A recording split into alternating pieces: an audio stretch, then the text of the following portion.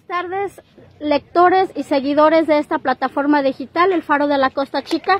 Nos encontramos sobre la carretera federal Acapulco-Pinotepa, sobre el crucero de Huehuetán, donde padres de familia de dos instituciones educativas están exigiendo al gobierno del estado, a, a las autoridades educativas, el recurso humano que les hace falta desde hace ocho meses, nos comentan.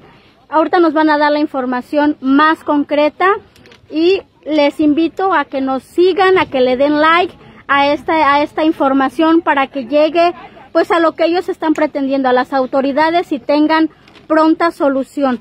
Ahorita nada más nos dicen y nos dicen van a llegar los maestros, nos hacen falta en la primaria dos maestros de primaria y el director, y en la escuela secundaria Juan García Jiménez, aquí está, nos hacen falta ocho maestros desde hace ocho meses y no nos dan solución. Y por eso ahora decidimos, el pueblo de Huehuetán decidió hacer este plantón. Quizás así el gobierno nos haga caso, porque según ellos primero es la educación y no nos hacen caso.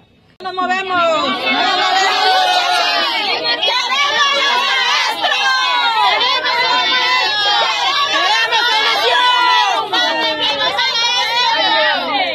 Maestros de base.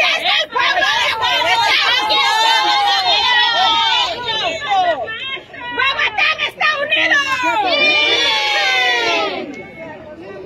Pues bien, lectores del Faro de la Costa Chica, acaban de escuchar a los padres de familia la exigencia que tienen desde hace ocho meses, les, les hace falta más, tres años la primaria.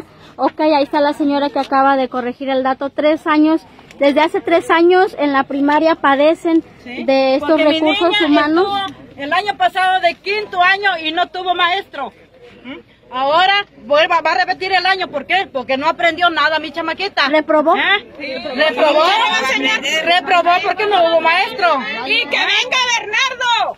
¡Que venga Bernardo! ¡Que venga Bernardo! Con soluciones, con soluciones No queremos maestro de contrato porque a los dos meses se los llevan y los alumnos quedan en blanco. ¡Queremos maestro! Sí, queremos que la gobernadora nos dé solución, porque cuando ella quería el voto y quería ganar, ahí sí tomó en cuenta Huehuetán. Y ahora que queremos maestro, nos mandan a la godina.